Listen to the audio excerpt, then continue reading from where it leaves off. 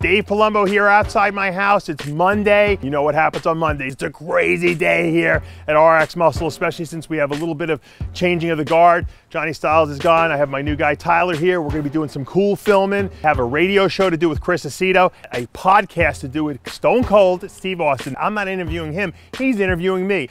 And I gotta send a snake out. I have a ball python, one of the ones I produced. I got to send out to a bodybuilding fan who ordered it from me. We're going to bag that guy up, and I'll show you how I do that. I know you guys always want more day in the life of Dave Palumbo's. Well, it's a crazy day today. Come on inside and join my world. This is something that I, I love. I am a pumpkin fanatic. And around Halloween and Thanksgiving, they have pumpkin products that come out. I don't drink caffeinated coffee. I only drink decaf. They never have the little pods that I put in this little machine. So luckily, I don't know how I did it, I found pumpkin spice coffee that's decaf. See that, decaf? Mm -hmm. And it's not in the pods, but I bought this little thing that kind of makes it a pod thing. So you can actually pour it in there and then close it, and then you have, it's like its own little pod. And it goes right in here and you make coffee. And I've been drinking it and it's delicious. I believe I got this at Target. So if you guys want to try pumpkin spice decaf, it's at Target. So Tyler, say hello to Chris. What up, Chris? what's happening, Tyler? Are you 26? He's 26. He is. How did, how did you know that? Kids. How did you immediately know? No that? kids. He said 26, no kids, because it's called experience, right, Chris? uh, he has that that innocent uh, voice still, right? He hasn't yeah, been yeah. beaten down by time yet. Yeah. I consider myself a professional athlete. Mm-hmm.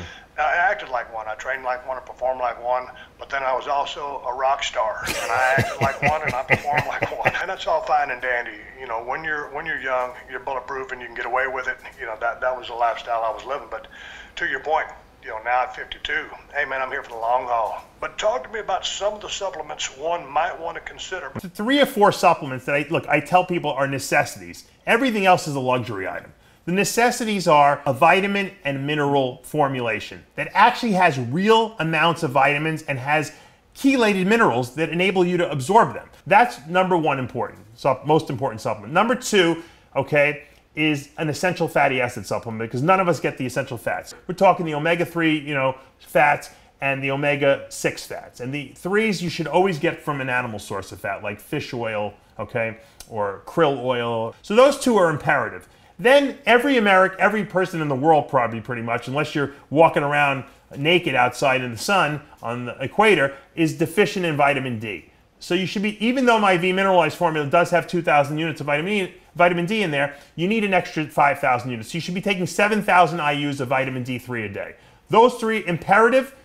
Add the fiber as your fourth, and those are your top four supplements every single person should take. I, I got to say, I thoroughly I watched from start to finish your conversation on RX Muscle with Boston Loyd. I know you've had, a, had him on a few times. Yeah. But, I mean, golly, the one when he was talking about some of the stuff that he was doing, some of the stuff that you were recommending, yeah. he pulled back a little bit, but he's just a very candid, open guy, and I just enjoyed the hell out of it. Because again, I'm a, I'm, a, I'm a fan of the sport. And, to hear some some of the things that, that, that are out there is just just flat out amazing. And the guy's very candid. I enjoyed the hell out of it. you know, of all the people I thought you would mention, I that was the last name I thought I'd hear from you. But I'm sure he'll be thrilled to know that you, you mentioned him. I mean, but he seemed like a real knowledgeable guy. Obviously, he's, you know, you he's good combine, and, and, the fact that he was so candid. Yes, he's very candid. Guys, you, like you said, give you half truths or yeah. you know a little bit of this, a little bit of that, but the guy puts it on the table, so I respect that. Radic- I call it radical honesty.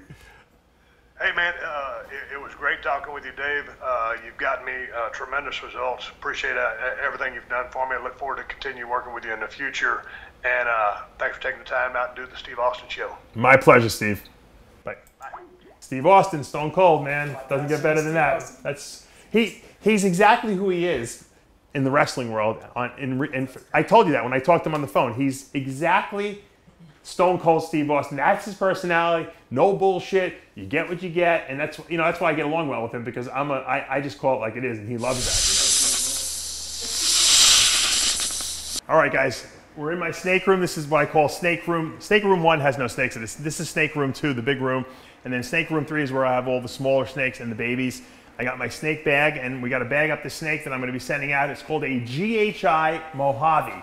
The GHI stands for gotta have it. Mm, GHI Mojave 2, GHI Mojave 2, that's her. Okay. Of course, she's in shed.